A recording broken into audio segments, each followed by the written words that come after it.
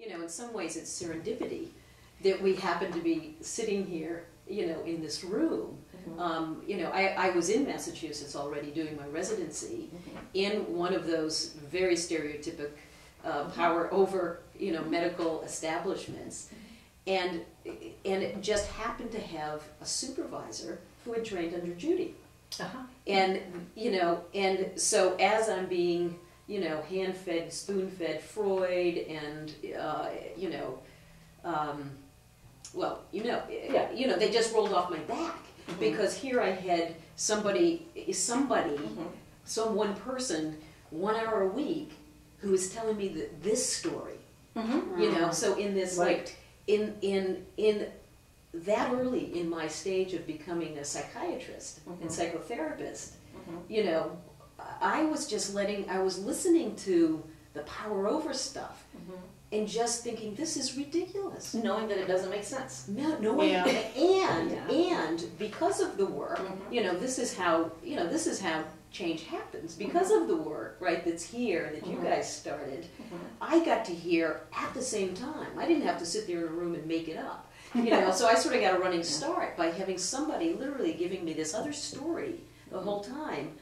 You know, that made such innate, innate intuitive sense to me. And so, you know, I, I'm reading the papers and I'm starting, I, I started a group with a supervisor for the other residents to, um, to read the Stone Center papers and to really take this in. You know, we had, um, I'm just recalling that uh, one of the earliest experience again in my residency was having Irene Stiver come and do a case conference on a woman that I had been treating for, for you know, a year or so, um, trauma survivor, and I was working like the dickens to get her separated from her mother. Yeah.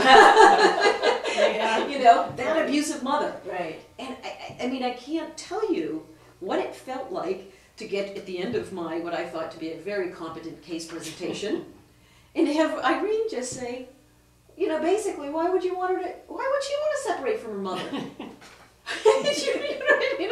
What? You know? I mean, and it, but it was that kind of earth shattering, oh, oh, that's probably the most important relationship in her life. And it doesn't mean she has to continue to be abused by her. Right.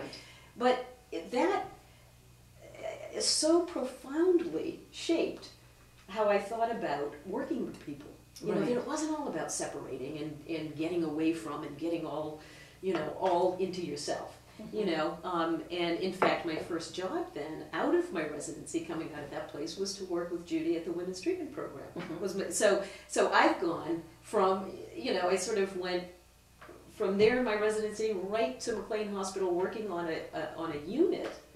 You know, I remember those days, and I can remember, and we laugh about this now because I would walk in every day and think, "This is the best job I have ever had." Of course, it was the only job I ever had. um, but you know, but it was that kind of excitement of working with a group of women that were looking at things really from a different perspective.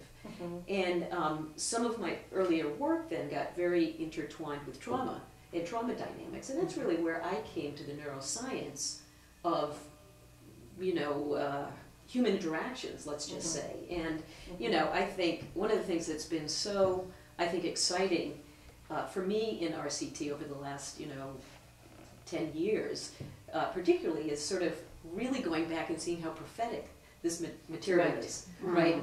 So the t- four of you could sit there and really say this stuff with some call it intuition, call it confidence, call it supporting each other. I don't know what you call it, right? I, I, I Mhm. suspect I wouldn't have had the, the gumption to do it, you know, in my earliest training. But then to have, you know, layers and layers and a whole field of neuroscience that is now supporting exactly mm-hmm. you know what we're saying. And you know and it's not you know i want to i always want people to be clear that it's not that the neuroscience validates your theory. It's that it gives us a new language to reach other people. Mhm. right? So mm-hmm. that we can take this out and communicate with people in dominant and hierarchical mm-hmm. positions. And it, w- it can make sense to them because it's more their language. Right. you know? Right.